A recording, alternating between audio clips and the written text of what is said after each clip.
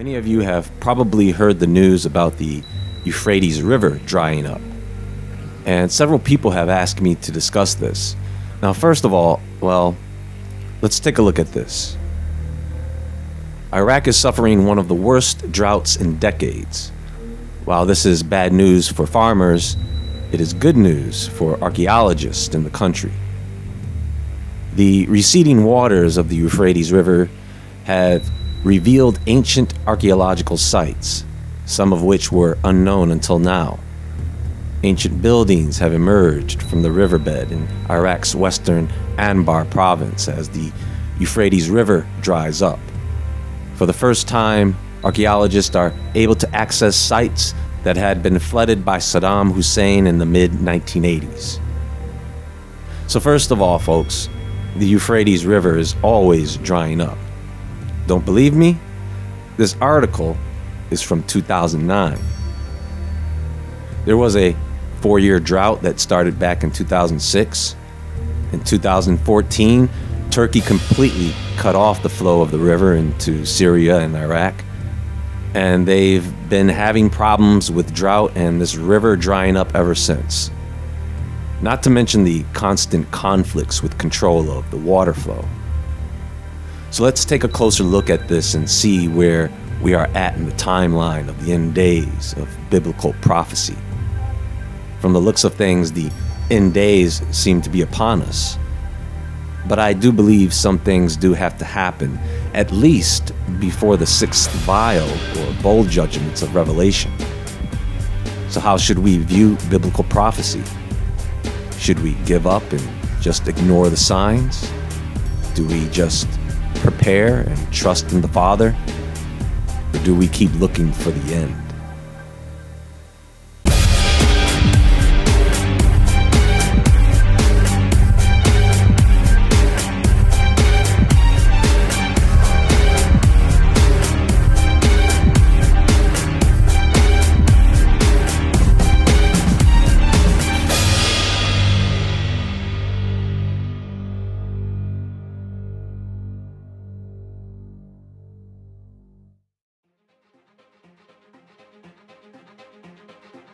Euphrates at risk of drying up.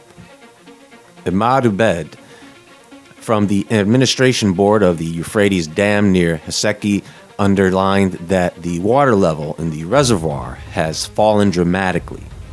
If Turkey continues to block the water supply, irrigation and electricity supply will collapse. Now, Turkey agreed back in 1987 to have a certain amount of water flowing through the dam, and they cut that in half from around 500 cubic meters per second down to around 200 cubic meters per second. According to this article, Turkey has been doing this for the past two years. And of course, it happened before in 2014. Something tells me that the Euphrates River has been having this problem for a long time. And it has had something similar happen back in the 70s. Did it happen in the 80s? Yes, Saddam Hussein dammed the river, causing 120 miles worth of flooding. That river has been dried up, flooded, dammed, blocked, drained, polluted, diverted. It's got fallen angels buried underneath. What do you expect it to do, folks? In Revelation 16:12 it reads, "And the sixth angel poured out his vial upon the great river Euphrates." And the water thereof was dried up, that the way of the kings of the east might be prepared. Wait a minute. What happened to the fifth angel? The fourth and third, second and first angels? What about the seven trumpets and the seals? So, this is what we do now. We just skip ahead, just apply prophecy when it shows up out of order, just a random vial poured out at a random time, right? I mean, is there a right or wrong way to interpret prophecy? The book of Revelation, the way it reads, there does seem to be a progression there as a series of events instead of just random things happening, right? For example, the four angels are loosed at the Euphrates during the sounding of the trumpets, and then the Euphrates dries up during the vial judgments. But I've heard people say the Euphrates dries up and then the four angels are released. Or are we to look at the seals, trumpets, and vials as one? Now, here's the thing if things continue as they have been, it is predicted that the Euphrates River could dry up completely by 2040. And something tells me they just made that number up. Now, the spirit of the Euphrates is the spirit of Babylon. Back then, Cyrus of Persia had diverted the river so that the invading army could pass over. Now, the river is controlled to starve people into submission. So you can look around you and you can go into the book of Revelation and pick out certain prophecies that some people might say have been fulfilled. And I say, let's not forget the mountain sized meteors that are supposed to hit the earth, the scorching heat the giant hailstones, the great earthquakes, and the opening of the abyss. The Euphrates River has always been a problem for anyone living around it. Remember, Revelation takes history from the Old Testament and plugs it in to give a prophecy in the form of a reference to what happened in the past. That's why when you read through it, it sounds like the prophet is talking about Babylon or things that happened during the plagues of Egypt, you see. Almost all the plagues of Egypt are prophesied to happen again to some degree in Revelation. Here is the bottom line, folks, and this is the true purpose of this presentation. I think people should stop worrying about when the end will come. Stop waiting for the Lord to come. Stop looking at everything as a fulfillment of biblical prophecy and live your life knowing that any day could be your own personal tribulation. And you may not even be around to even see most of the really bad things unfold. This is dangerous, and this is what Jesus warned everyone about.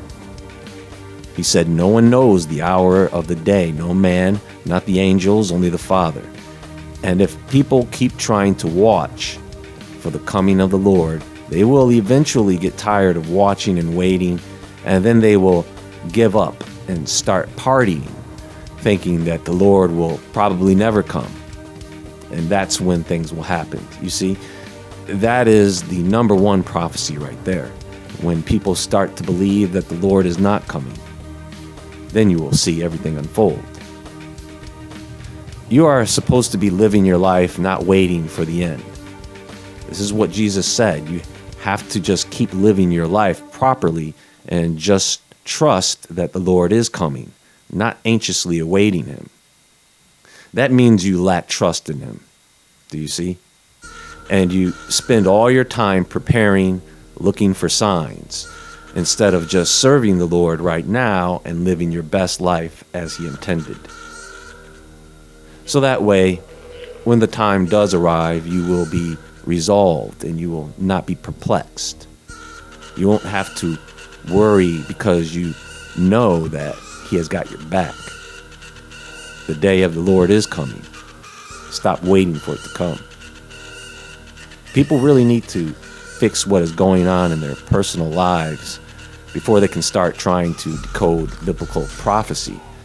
I have to say, I don't look forward to a third of the population being killed. Of all the problems people may cause me, I don't like seeing people die. You know, when it comes to things like this and biblical prophecy, people really have to relax. I mean, every year it's the same thing. Oh, it's doomsday coming in April. It's coming in November. It's coming in December every year. And that is why I say this is dangerous. Because as long as people keep saying that the end is here, other people focus on it and get desensitized to the point to where they no longer care if the Lord is coming or not. And at that moment they fall back to sleep. That will be the coming of the Lord. Blessed is that servant whom his Lord, when he cometh, shall find so doing. Verily I say unto you, that he shall make him ruler over all his goods. But, and if that evil servant shall say in his heart, My Lord delayeth his coming, and shall begin to smite his fellow servants, and to eat and drink with the drunken, the Lord of that servant shall come in a day when he looketh not for him, and in an hour that he is not aware of, and shall cut him asunder, and appoint him his portion with the hypocrites. There shall be weeping and gnashing of teeth. Now, interestingly enough, since the Euphrates has been drying up over the years, they have been discovering ancient ruins. Now, some people who have been in the area, who have been in the underground irrigation tunnels, have reported hearing strange sounds and voices. Now, if there are four angels bound at the Euphrates, then you can bet there are also a bunch of entities surrounding that place as well. But here's another question. Some scriptures, such as angels being bound, many people take quite literally. But some other things that don't make sense, we say, oh, that has a symbolic meaning, or the author is speaking figuratively. So, how do we determine what is meant to be symbolic and what is meant to be taken literally? And maybe that is what people are truly trying to differentiate. So, when we do see something that seems like biblical prophecy being fulfilled, we can have a better understanding of what was written. That's all for now, folks. There is more to come. Be sure to visit woodwardentertainment.com and the Woodward Entertainment Store. You can follow me on Instagram at JAE Woodward. And until next time, friends, as always, stay awake, stay aware, stay safe, and I'll talk to you all soon.